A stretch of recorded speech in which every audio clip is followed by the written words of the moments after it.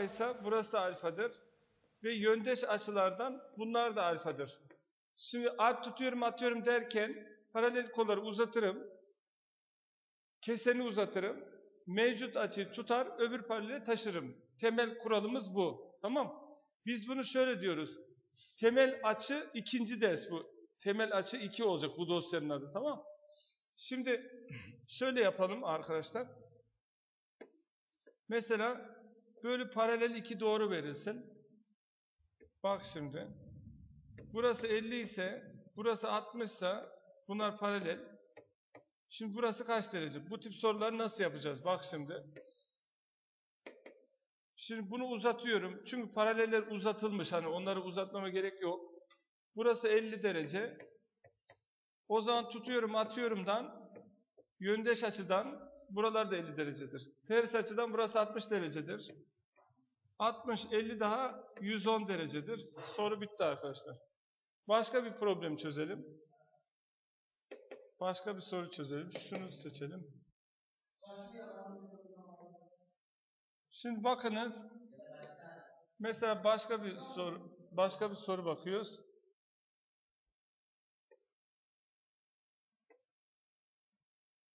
Hmm, şöyle yapalım. Burası 40, burası 70. Alfa nedir? D1 ve D2 birbirine paralelken. Soru bu. Şimdi paralelleri uzatıyorum. Bakın. Kesenlerden birini uzatıyorum. İyi dikkat et. Bak uzattım. Burası 40 derece değil mi? Şimdi o zaman tutuyorum atıyorum. Burası 40 derecedir.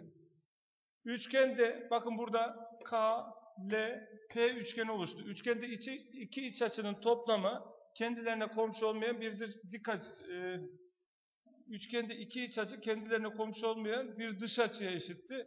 Alfa eşittir 70 artı 40'tan 110 arkadaşlar. Burayı anladık mı? Başka bir çalışma yapalım arkadaşlar. Mesela burası 75, burası 85 ise alfa kaç derecedir? A, B, C üçgeninde. Var mı söyleyebilecek? Tamam ben söylüyorum. Üçgenin iç açılar toplamı 180 olduğundan 75 ile 85'i toplarım. 160. 180'den 160'ı çıkartırım 20. İşte bu açı 20 derecedir. Bu kadar. Tamam. Üstteki soruyu bu, bu tarz yapamazsın yani. Bu alttaki başka bir çözüm, başka tip soru çözüyor. Üstteki başka bir tip soru çözüyor.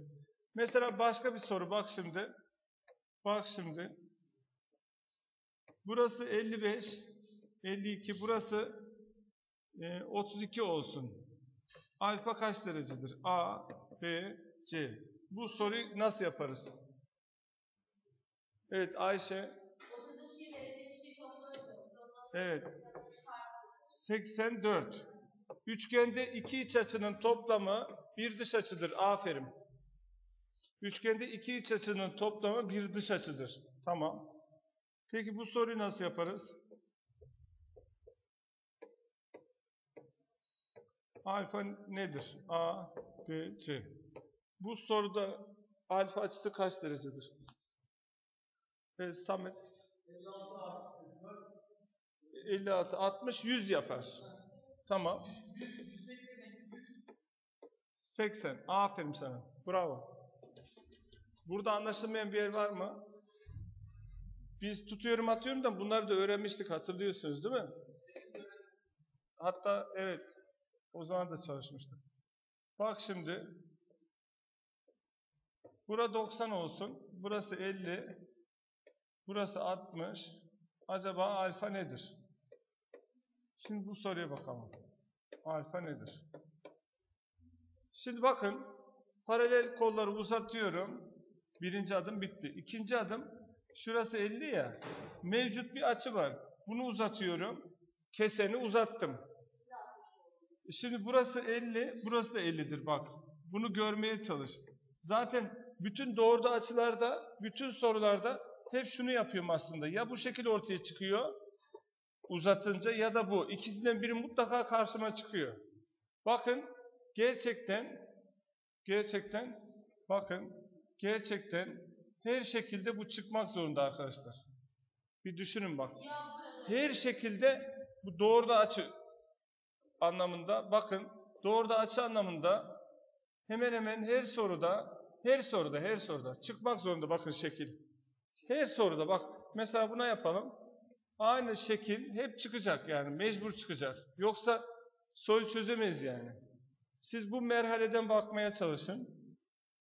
Şimdi devam edelim. Burası 50 ya, bura 90, burası da 120'dir. Çünkü burası yarım daire, öbür taraf da yarım daire. 180'den 60'ı çıkarttım 120. O halde burada bakın K, L, P, N bir dörtgendir. Dörtgenin iç açılar toplamı kaç derecedir? 360. Aferin. O zaman ben şimdi 120, 90 daha 210. 50 daha 260.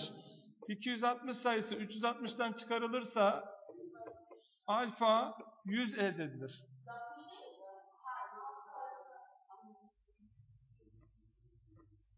Burada soracağınız bir yer var mı? Tamam. Başka bir soru çözelim arkadaşlar. Bakınız. Mesela şöyle yapalım. Arada sinek konunca iş karışıyor tabii. Bu D1 olsun. Bu da D2 olsun. D1 paralel D2 arkadaşlar. Mesela burası 20. Burası 80. Acaba şu açının tamamı kaç derece? Soru bu. Şimdi bakın nasıl yapacağız? Bak dikkat et şimdi. Bir bunu çözeceğiz. Biraz sonra bu bittikten sonra şöyle bir soru çözeceğiz.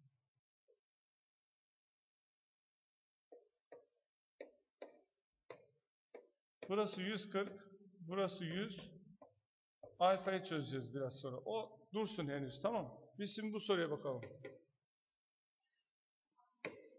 Şimdi arkadaşlar tutuyorum atıyorum formülüne göre paralelleri uzatırım. Bak şimdi. Keseni uzatırım. Buraya kadar tamam mı?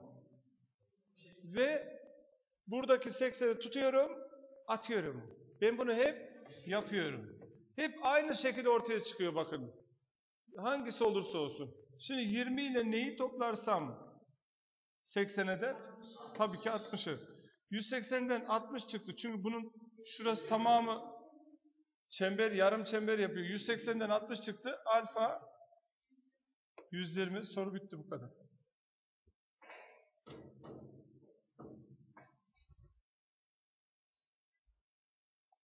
Şimdi bu soruya bakalım. Şöyle şey yapalım bir dakika. Bunu atalım.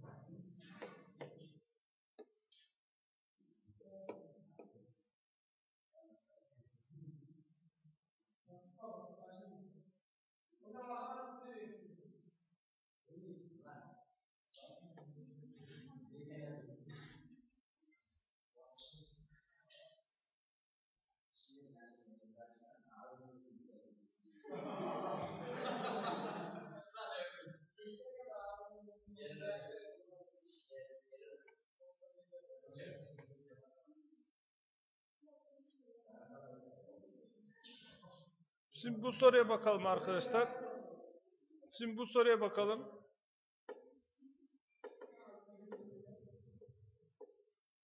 Şimdi arkadaşlar bu soruda da aynı taktiği uyguluyoruz. Paralelleri uzatırım. Tamam. Kesen burası 40'tır. Değil mi? Şurası nedir şurası? 40. Şimdi 40'dan neyi toplarsam 100 eder?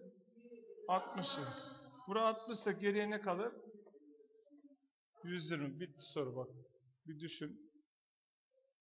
O soru öyle duracak orası. Orayı geçtim. Şimdi başka benzer bir soru çözelim.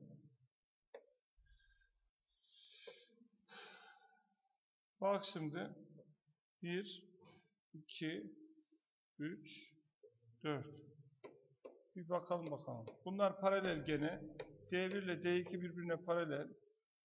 Burası alfa, burası alfa. Burası 30. Burası 70.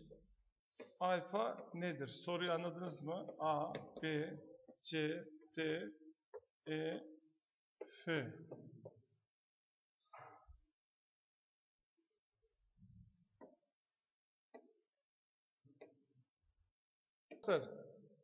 Bakınız, bakın, bakın, bakın. Paralelleri uzatıyorum. Buraya kadar tamam mı? Şimdi ben bunu uzatabilirdim. Şu BC'yi uzatabilirdim ama onu bilerek uzatmıyorum. Çünkü bilmediğim açılar var, kafam karışır. O yüzden şurayı uzatmak daha doğru bak. Çünkü ben zaten yani ben zaten bunu anlatırken hani mevcut açıyı tutar atarım demiştim zaten. Kuralı söylerken hatırlarsanız mevcut açı yani bu şu demek var olan bir hani bilinen bir değer daha güzel. Öbür türlü de olur da kafanız karışır. O, bu, şu halde burası kaç derece? 30. Şurası ne? 110. Şimdi burada A, B, C, D bir dörtgen midir? Evet. Dörtgenin iç açılar toplamı 360. 110, 30 daha 140. 2, 360'tan 140'ı çıkartırım. 220. 2 alfa 220 ise 220'yi 2'ye bölerim. Alfa 110 gelir. Burada anlaşılmayan bir yer var mı? Sorabilirsiniz istediğiniz yer varsa. Yani hepsi doğruda açı sorularının hepsi aynı taktikle yapılabilir. Bakın bunun zor sorusunu yazmak istiyorum size. Bunun zor sorusunu yazalım.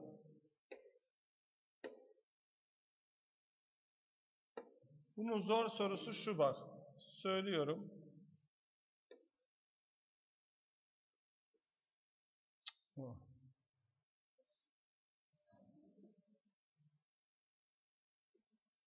Olmuyor. Böyle değil. Şunun da. Ha. Şunu al. Tamam. Çiz kardeşim.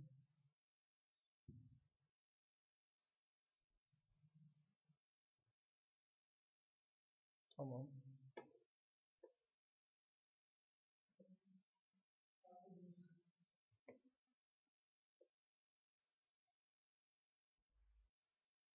Tamam. Şimdi bunu da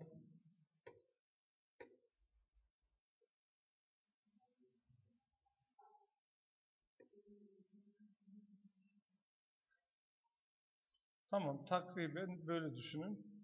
Şimdi D1 ile D2 her zaman için birbirine paralel olsun. Tamam.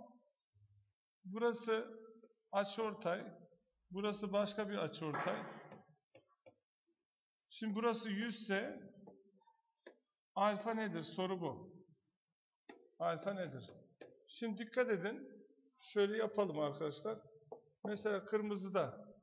Burası mesela A iken burası A'dır. O zaman şurası A'dır. Şurası da A'dır. Burası B iken B'dir. O zaman bura B'dir. Burada B'dir. Buraya kadar tamam mı? Mevcut açıları yazdım yavru çelenler. Şimdi bakın paralelleri uzatıyorum. Tamam mı? Şimdi şu kesen şuna ben K diyorum. Şu da P olsun. Bak şimdi. Ben içtekini uzatıyorum. K'yı uzattım. Neydi kuralımız? Kesenleri uzat. Hani ikinci adım buydu. Şimdi burası kaç derece? Bir görebilecek misiniz? Bakayım. Şu açı kaç derece? Bak. Burada bir açı var. Şu açı. Şu P noktasındaki dar açı. Söyleyeyim mi? Evet. Sen söyle. A açısıdır. Bravo. Bakın bunu şöyle görmeye çalışın. Bak bak. Bak. Görmeye çalışın. Aferin. Esin çok güzel söyledin. Aferin kızıma. Sen böyle devam et dersini takip etmeye. Ben söz notunu güzel veririm kızım ben sana. Şimdi bak. Buraya kadar tamam. Şimdi dikkat et. A artı B neye eşit? Şu P, R, S noktalarına bak. P, R, S üçgeninde A artı B alfaya eşit. Görebiliyor musun? İki iç açının toplamı bir dış açı. Yazıyorum. A artı B alfaya eşit. Buraya kadar tamam mı? Tamam. Şimdi peki Başka bir renk alalım. Bir yer daha göstereceğiz. Siyah alalım bu sefer. Bak şimdi. Ben şunu şöyle uzatsam. Alfa artı A şurası mıdır? İki iç açının toplamı bir dış açı. Buraya yazıyorum alfa artı A. Peki şu 100 sayısı alfa artı A artı B midir? Tekrar bak şu dolu yaptığım yerle şu açının toplamı bir dış açıdır. Peki ben bu denklemle ora yüzde ha şu ikisini bir arada düşünsem burada A artı B yerine alfa yazsam çünkü burada alfa eşittir A artı B vermiş ya buradan burası alfa ise alfa alfa 2 alfa 100 ise alfa nedir? Elbette 50 derecedir arkadaşlar. Ha, toplamayı çıkartarak. Bir tane hızlı bir örnek çözeceğim. Ve bitecek bak. Bitireceğim tamam mı? Şimdi hızlıca çözeceğim bak. Bu tür sorularda bak şu tarz sorular verilsin. Hızlı yazıyorum. Çirkin olduğunu ben de biliyorum. İdare edin tamam mı? Şimdilik zaten bu ileride programlarım katılacak böyle. Önceden çizilmiş olacak. Biz üstünde çözeceğiz yani. Bu şekilde dokümanlar var da henüz yeterli değil yani akıllı tahta bazında e, gelişecek yani bu sistem. Mesela burası 84 olsun. Alfa nedir şimdi? Soru bu. Bak şimdi. Hemen siyah. Bunu uzatıyorum, bunu uzatıyorum. Burası A, burası A, burası A, burası A'dır. Burası bu durumda A'dır. Burası B, burası B ise burası B'dir. A artı B alfadır. Sonra bunu uzatıyorum. Alfa artı A şurası. Burada B'ydi. Burası alfa artı A artı B'dir. Biz şu ikisinden A artı B'nin alfa olduğunu bulmuştuk. O zaman şurada A artı B yerine alfa yazdığında 2 alfa 84 ise alfa eşittir 42'dir. Doğru mu? Ben anlayasınız diye ilkin çok çok çok uzun anlatıyorum. Yani bazen de çok uzun anlatınca sanki zormuş gibi, karışıkmış gibi yani hissedilebilir. Tamam yani kişiden kişiye değişebilir. Hani kimisi de sıkılabilir diye bunu belirtiyorum. Aslında o kadar yavaş çözülmüyor sorular. Yani çok seri bir şekilde çözülebiliyor geometri.